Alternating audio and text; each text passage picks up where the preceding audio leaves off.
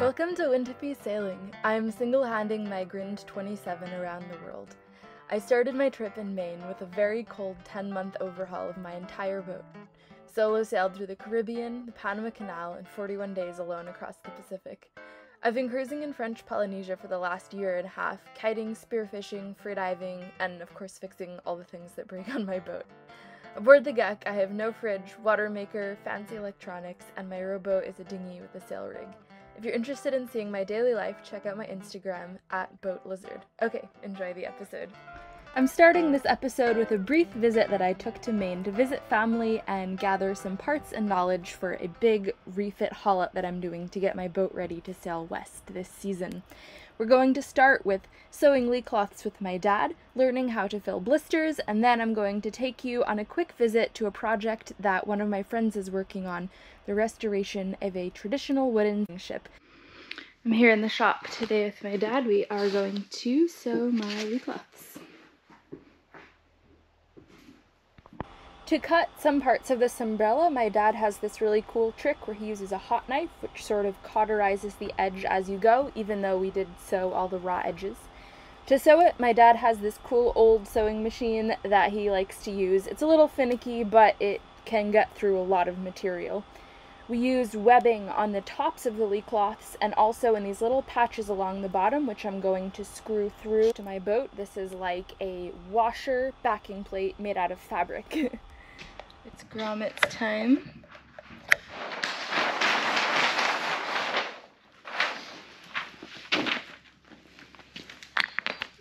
So, should... So the lee cloths were pretty straightforward to make. They're kind of just reinforced rectangles. The next thing that my dad and I did in his shop was a demonstration. My boat is covered in blisters on the hull. Blisters are little pock marks that water gets underneath the gel coat and sort of eats away at it and creates an acid which eats little holes in the gel coat itself. Um, so when I get back to my boat, I'm going to have to fill all these blisters in. My dad is showing me the proper way to do that. I'm a little nervous about this, but that's part of being a boat owner. Getting a lesson in how to fix blisters in the bottom of your boat with epoxy filling. First we have to simulate the blisters. Blisters on the bottom of the boat.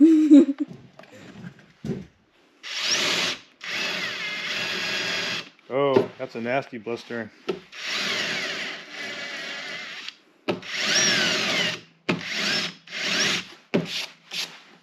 Now we have blisters.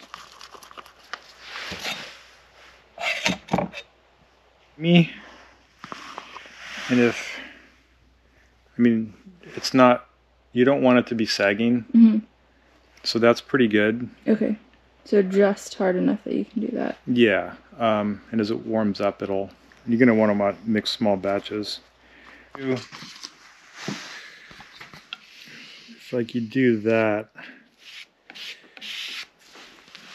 you're gonna get a bubble on the backside. Mhm. It goes down. So you want to you want to go both ways Okay. because if you do this, you're gonna have if you just go wah, Yeah. you get it's gonna be a dry spot right there, Oh, okay. Oh, yeah.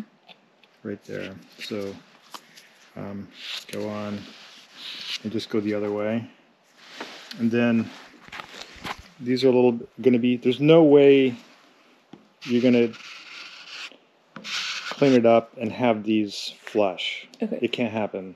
They're always going to be a little bit of a divot. Mhm. But what you don't want is all this stuff. Ah, okay. You want to clean all that up. It's better to have them a little bit of a cup in there Mhm. than to. You don't want to do this. If you had two of them, you would do this, and they still hollow. But if you end up with that, Oh, it's gonna you're going to be oh my god. Well, the sanding will just be Yeah. a nightmare. Um, so it's best just to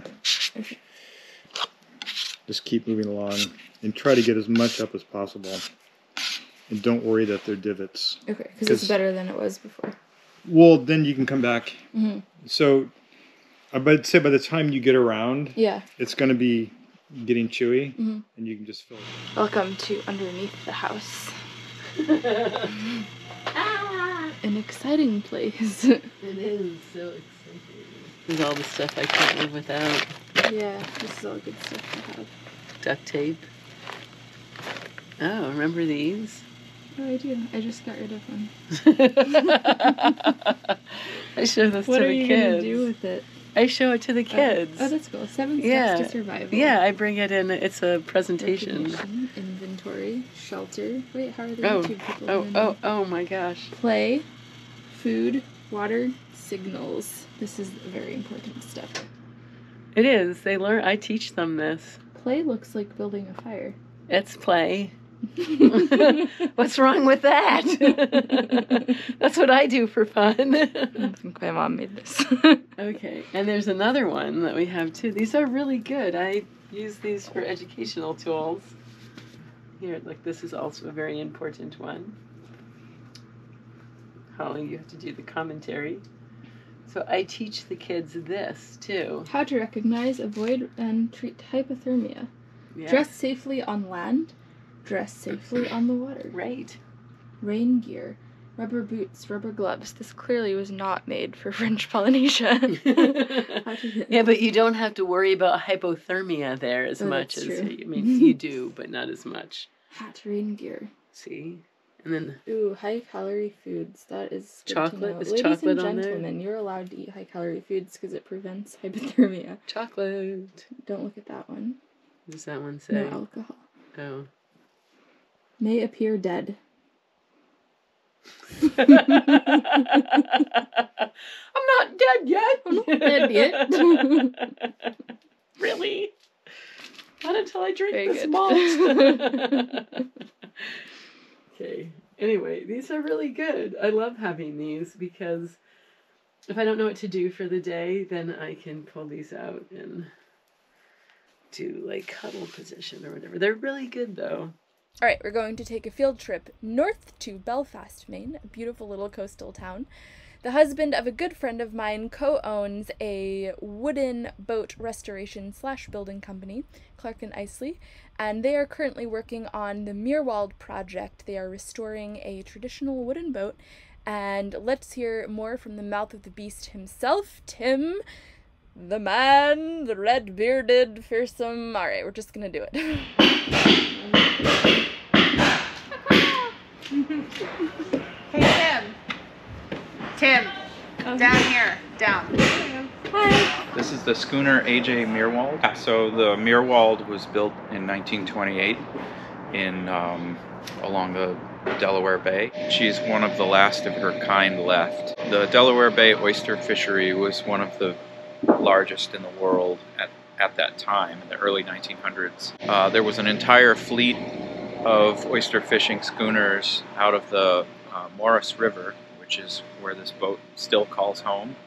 Um, the boat is now owned by Bayshore Center at Bivalve, which is a nonprofit educational organization that has an historic converted oyster shed, uh, which is now which now serves as an education center, and they have a dock where the AJ Meerwald is tied up, um, and they have uh, youth programming um, that teaches local history and ecology and environmental awareness. Um, so that's what the boat has done for the last 30 years. She was restored in the mid 90s to return her to her original configuration as an oyster fishing schooner. Um, there's several of these schooners still fishing down in that region. All of them have been converted over time as fishing technology advanced.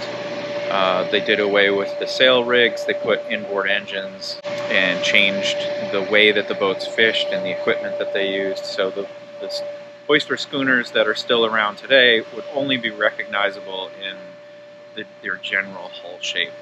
Um, so the Meerwald was saved in the late 80s, early 90s, restored to her original configuration as a fishing schooner, and is now used to conduct the educational programming.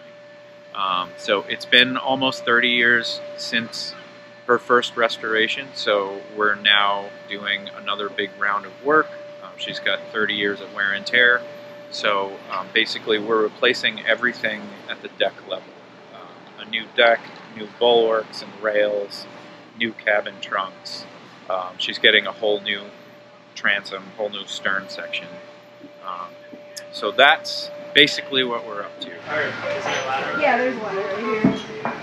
Oh, if bad things are gonna happen, Joey, just do it. I don't go down there.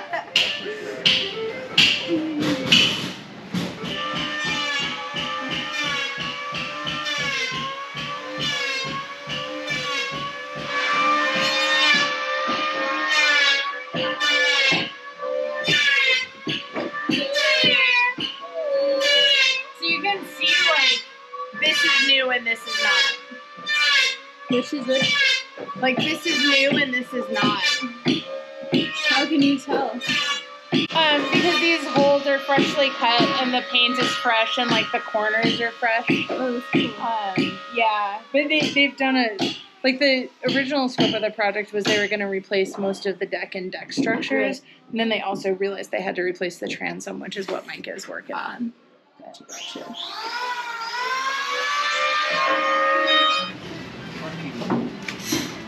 Perfect. Yeah. Alaskan yellow cedar, you really, we got really, really lucky with all this stuff. Yeah, look at how tight that grain is. It's beautiful. Really incredible. The fridge is an epoxy warmer because refrigerators are really well insulated to keep things cold. And so what they've done is the fridge is unplugged and there's just a light bulb in there that keeps it at temperature to keep the epoxy from freezing. So cool. Yeah. Clever boys. Okay, very fun field trip that I was able to take that day. If you are interested in seeing more of what um, Clark and Isley is doing, their Instagram account is there at the bottom here. And um, feel free to check out whatever else they're doing. They're always up to something cool in Maine and beyond. Uh, and now we are heading back to French Polynesia. I said a tearful farewell to my family, hopped on the plane. Two days later, I was back on my boat in Raiatea. I just arrived home to my boat about an hour ago after a grueling, almost three day trip to get back here. And I'm pretty tired, but trying to unpack at least two of my three bags. Uh, so the first bag was just my carry-on stuff, so it was mostly personal items. Second bag is here. So this is what was in the second bag. Um, this is mostly stuff for my haul out. So what I'm gonna do is, this is the third bag that I might deal with tomorrow. In this corner, well it's getting dark, isn't it? Hello? Do you want to work? Do you want to work? Do you want to work? Do you not want to work? Please work. La la la la la la la la. There we go. Sing at it. That's how it fixes things. I'm so tired. Alright, over here I think this is going to be my project area, so I'm going to lay everything out here that I'm going to need in the next two weeks. I'm estimating this haul out is going to be about two weeks. Um, I hope that's a little on the generous side of the amount of time it's going to take. I hope it takes less than that, but realistically it might take that long. Um, so that's what I'm just going to be, that's the number I'm going to be working with. Uh, and as I start planning things out, I think I'm going to find that it's probably pretty accurate because now I'm thinking just doing my haul is going to be probably four or five days. That's already almost a week. And then a day for the through hulls and all the hoses under the cockpit um, and the steering gland. That can probably all be done in a day. Um, yeah, I don't know. Don't want to think about it yet. Right now I'm just thinking about unpacking. So, yep, that's my next task is to just unpack and sort of organize everything. Um, and then bucket shower in the cockpit and early to bed. One of my friends came by with bananas right after I got here. It was so sweet of her. And um, she also brought me a bag. There's a bottle of wine and there's some hummus and crackers in it. So that's going to be my dinner. Not the wine though. I'm so dehydrated. Don't need any alcohol.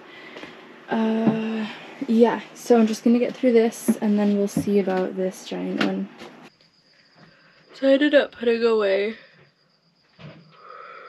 almost the entire second bag and then I kind of hit a wall and needed to eat. this is what my project corner looks like. I'll show you more tomorrow morning.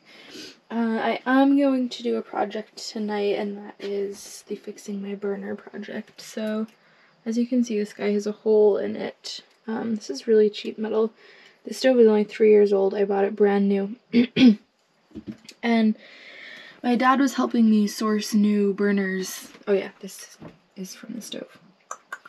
Uh, but he just couldn't find replacement burners and I went through I went through so many iterations of trying to figure out how I could fix this thing and finally the best solution we came up with because it's such high heat right? That's the trouble. Um, obviously I could get it welded somehow somewhere or I could use this um, gasketing cement and stove sealer and what I'm going to do is glue a coin to the hole with this and that fixes the hole problem. I don't have to pay someone to weld it um, and we'll see if it works.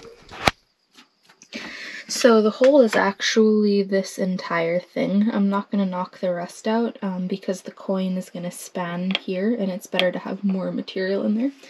The coin I chose is the 20 franc coin. This is the equivalent of about um, 2 cents. And it has a lovely Napoleon wrasse on the back of it, which we love. And it's a pretty perfect size. I'll just go over there like that. Um, just so that this sealant doesn't leak through and stick this guy to the wrong thing. I'm putting a piece of paper behind it, so if it glues it to the paper, I can just burn the paper off, um, and it'll be fine.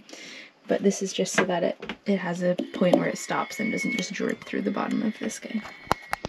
Okay, I should have guessed this, but I actually have to file down the top of this burner because I need a flat surface to stick the coin to, but my excuse is that I have been traveling for three days and I'm exhausted, but I really want to be able to make coffee tomorrow morning, so that's my motivation. Alright, this guy's filed down and everything has been acetoned. And now I'm going to put the paper back behind here and then stick this guy on. Okay, this is insanely messy. Poop.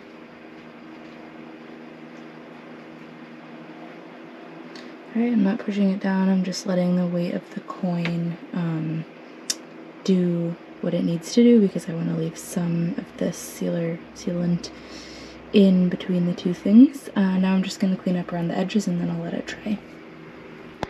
Okay, finished product. It's on. I've cleaned up as much of around the edges as I can without damaging the set of this. I'm just going to let it sit overnight. I'm using my contacts case and this little thingy thing uh, as supports because this guy has two legs on the bottom um, and I need it to sit flat against this piece of paper so that if any goop runs through it stops here. Uh, so I'll just leave this for tonight. I'm about to go to bed anyway, I'm sure. And we'll see how you do. Check you tomorrow. Make some cafe. Thanks for watching this week's video. Ooh, sorry. These are prescription and I I am not cool enough to wear sunglasses in an exit video. Um, I put out new videos every two weeks on Mondays on YouTube, and for my patrons, you guys get a snack on the weeks I don't put out a full-length YouTube video. To become a patron, my Patreon is patreon.com slash windhippie. I am reading through journals of sailing trips that I've taken and answering any specific questions you guys have about pieces of my boat, how they work, other things that I do, whatever you want with limitations, obviously. Um, oh, it's hot and my brain is fried. Uh, la la bamba, what else do I usually say here? Um, thank you, Tish, the lovely Tish, for helping me get these videos scheduled. Thank you guys, lovely you guys, for your comments. I like reading them. I try to read them all whenever I have access to internet, and, um, I can't think of what else I usually say. Shirts! Shirts! Buy your shirts! Coming fresh, coming fast! Uh, and the link in the description below There's a link to a website where you can purchase Wind Hippie sailing shirts. We can be matching, we can be twins. I have tie dye ones, I have sweatshirts, I have mugs, I have stickers. I can't even remember what else. There's a lot, it's all cool. Bye now, bye fast. Alright, I will see you guys next week. Pew!